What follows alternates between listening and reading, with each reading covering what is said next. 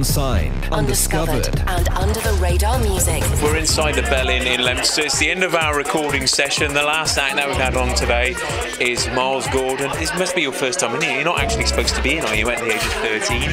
No, not really, but I've got away with it. But I heard you did a wedding the other day. Oh, yeah. Your first yeah. and your last. No, it wasn't the first, but definitely the last. All right. Why is that? It's not really very enjoyable playing other people's music. Now tell me a little bit about your music. How did you get into writing? It was sort of early last year when I started to DJ. I liked electro house for like a very large part of that year. I started to get into more housey sort of garage and stuff and deep house. I was trying to produce for ages, but I mean, it's just the first year and a half or so, then you just do really awful. It's just it's only recently that I've been able to actually make a full track. and be confident in Yeah, the sound is, is a lot of people kind of come from like keyboard backgrounds and sit down and they're used to like synthesize sounds. Anything which you play? No, I don't really. So you're more chopping up sounds Yeah, and exactly. sampling It's stuff. more technical than yeah. theory. And that's another thing is people who aren't on the in don't really kind of understand what buttons do. So just kind of explain there that whole process and how complex that is to learn. Each of the pads, they each have different sounds from the song loaded onto them. So you need to trigger each individual element in sequence. So just yeah. like a trumpeter would be pressing down the top of the trumpet or a keyboard player would be pressing different notes. Yeah. You are firing off the bass sound, the sometimes the kick sound, sometimes the hand claps and everything that you hear in the track. And you have to source all of those sounds yourself. So everything that you're hearing, how many hours does it take then to build an average track? I couldn't really say. My eyes hurt when the lights go on. Yeah, I can imagine. Yeah, many days. I remember when I was kind of like producing when I was at school, and it'd be four o'clock, five o'clock in the morning. My dad would be hammering on the door. You still up? I can hear your headphones. what are your parents like when it comes to It, music? it's alright actually. Well, my mom really enjoys my music, but my dad is more acoustic, really. But my mom, she's the opposite. She was one of the ones dancing at the back. Yeah, she was. All right, and her friends. Yeah. So she's listening to very similar music to what you're producing almost. She always used to play um, a lot of dance music from the 90s and stuff. I sort of grew up on that, I suppose, and then gradually I started listening to more of it. So I remember reaching out to you probably about six or seven months ago, saying, you know, what's the chances of being able to you playing the tracks that you do live? How long's that process been? At the start, I had no idea how I was going to do it because I couldn't just press play on the track because there's nothing really live about it. And also, people think that when you do press play on a track, it's someone else's. Yeah. They want to know that you own this, this is yours, and you're making it in front of them. well, once I made the tracks, it didn't really take that long to chop up each part and Yeah. put them in. And how many of these kind of sets have you done now? Yeah, that's the first one. Wow. A bit nerving to start with. I can imagine. I did see your, your hands are Yeah, slightly slightly. Yeah, yeah, yeah. And to think that this is your first, just imagine what it would be like, you know, in 10 years' time, for Yeah. example.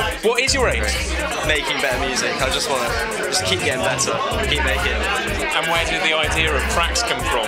I get ideas off other songs, and then it's usually the day after they start ringing around in my head, and then they all sort of mash together, and then that's when I sit down and begin to make the track. It actually becomes completely different to where it started, and then I put all the ideas down, and then I leave it a day or something. If I still like it, then I finish it.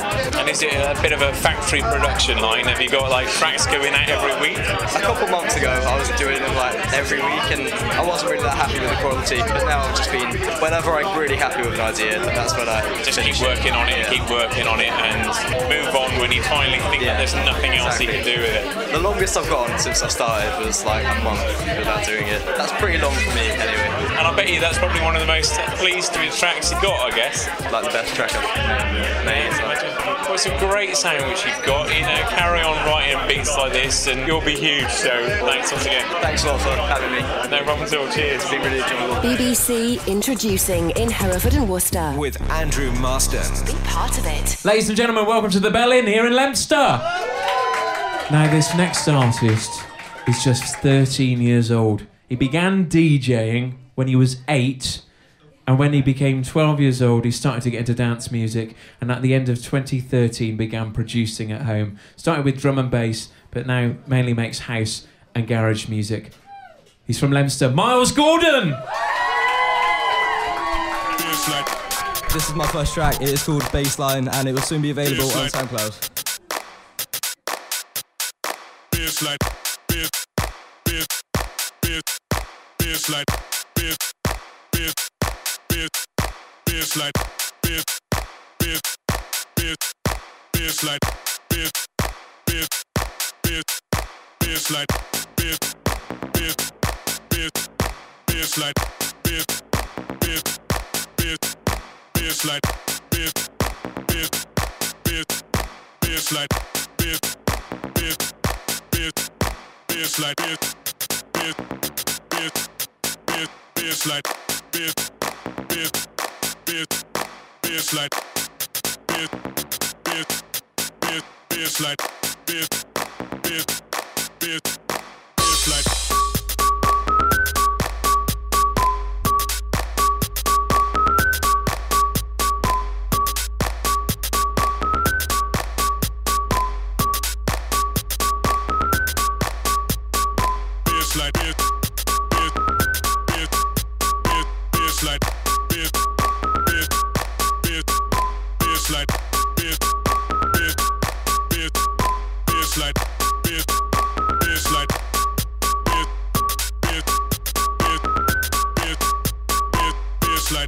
bass,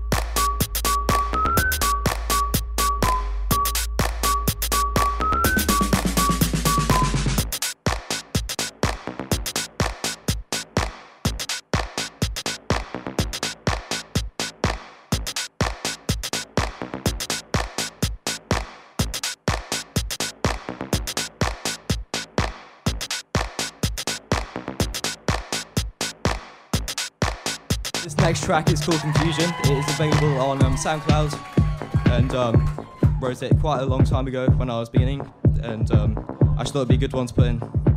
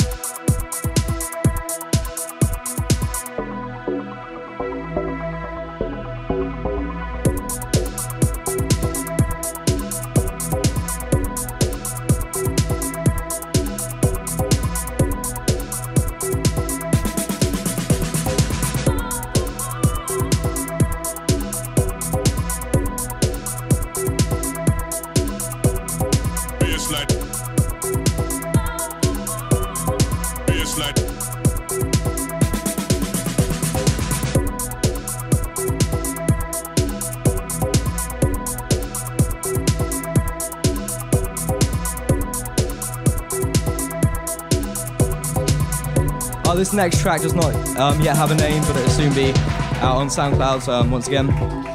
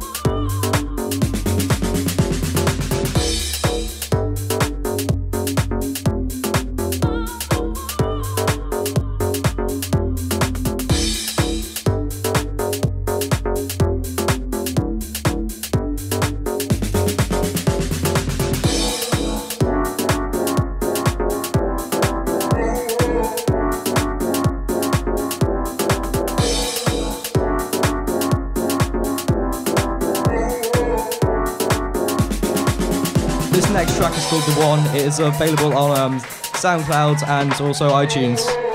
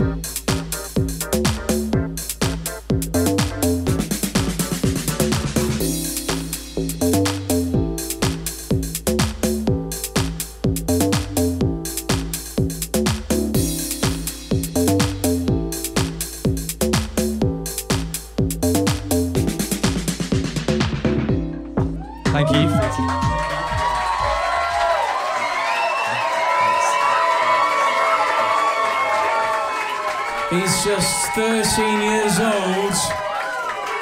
He's from Leominster. He's Myles Gordon.